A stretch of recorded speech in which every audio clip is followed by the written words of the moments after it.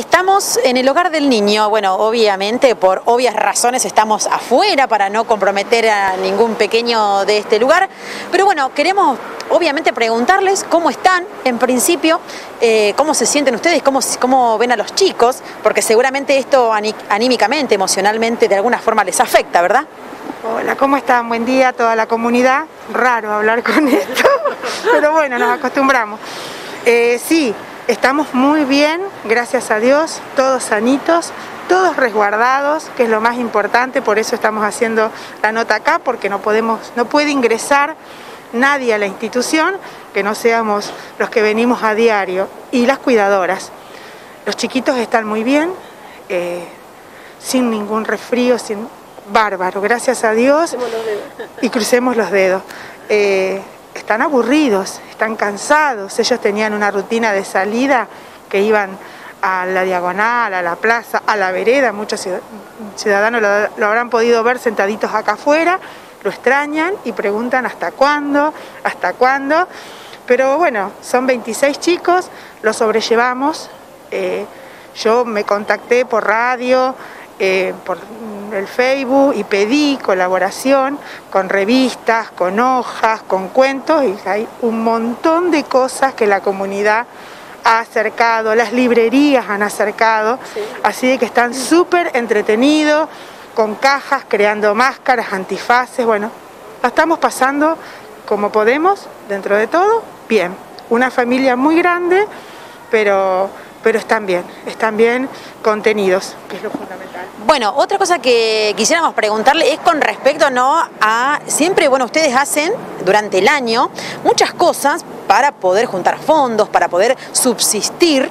Bueno, ahora, además de que algunos años anteriores, como el año pasado, fueron complicados económicamente hablando, pero pudieron sortearlos, este año le suma a todo eso la pandemia. Ahora, ¿cómo ustedes se sostienen? Porque sabemos que lógicamente las cenas, por ejemplo, están suspendidas.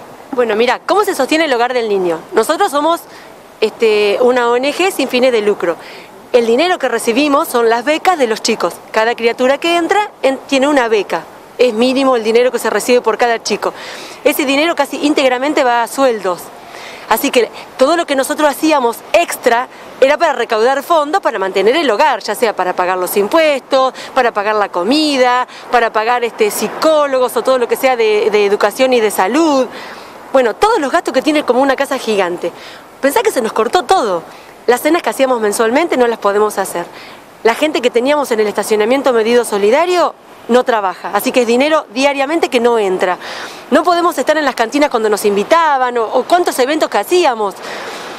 Nada, se cortó todo, nos agarró una especie de, desesperación, lo hablamos con el, intendente, lo hablamos entre nosotros con muchísimas reuniones, a ver cómo podíamos salir adelante sin, sin tener que tocar fondo, digamos, ¿no? Eh, bueno, una de las este, ideas que se nos ocurrió es esto, mira, es hacer socios.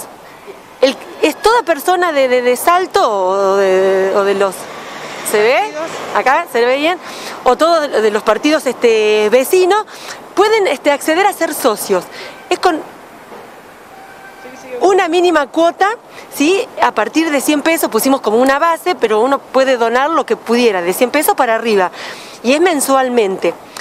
¿Sabes cómo lo hicimos? Bueno, cada miembro de comisión va a tener un grupo de socios y somos nosotros personalmente los que nos encargamos de cobrar. Por eso tenemos que hacerlo muy prolijo, muy despacio, porque somos nosotros los que tenemos que estar en la calle cobrando.